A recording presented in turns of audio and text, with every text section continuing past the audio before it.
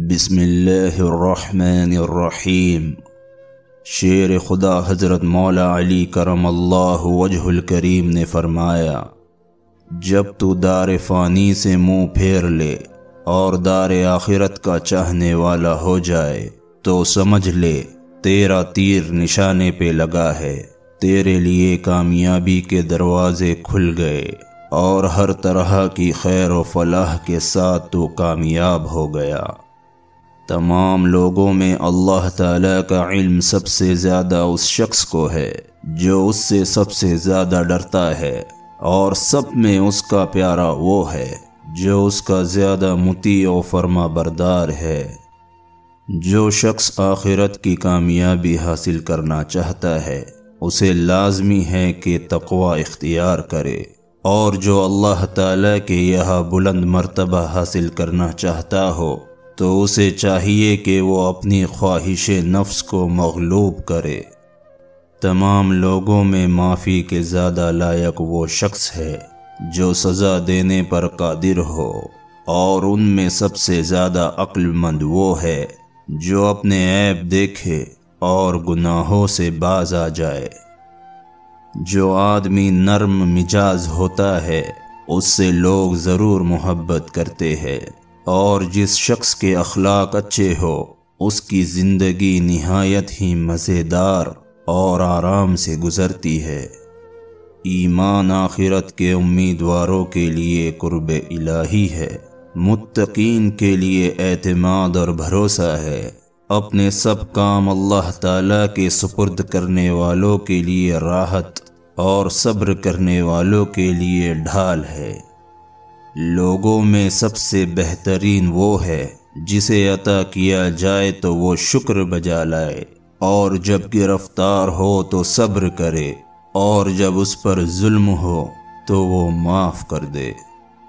जो शख्स अल्लाह ताला पर ईमान लाता है तो वो उसकी हिफाजत और पनाह में आ जाता है। और जो उस पर भरोसा रखता है, वो अपने सब काम उसके सुपुर्द कर देता है। जिस शख्स में ये तीन सिफात हो, उसे दुनिया और आखिरत दोनों हासिल हो जाते हैं।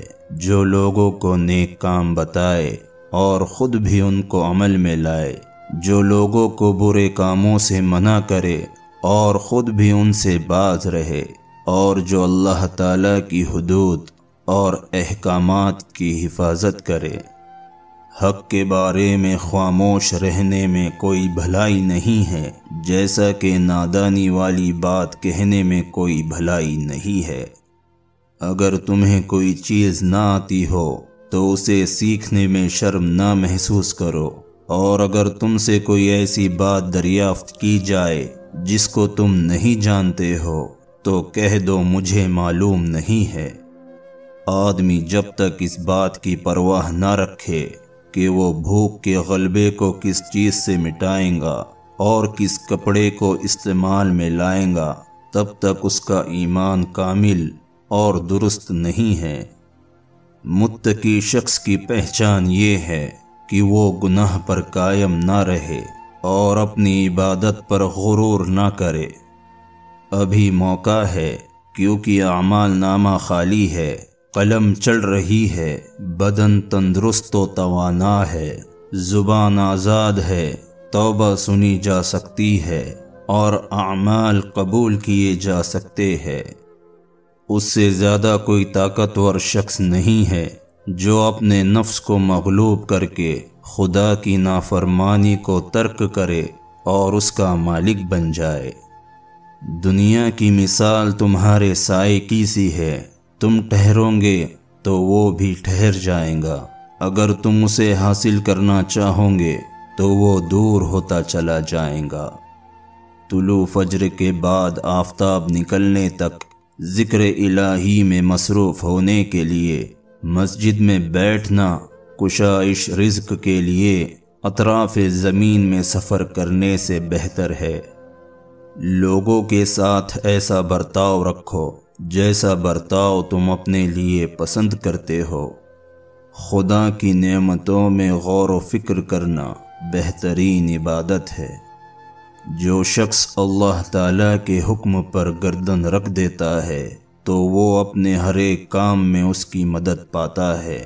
बेशक सबसे ज़्यादा सवाब मिलने वाली नेकी एहसान है, और बिलाशुबह तमाम कामों में नेक अंजाम वाला काम सब्र है।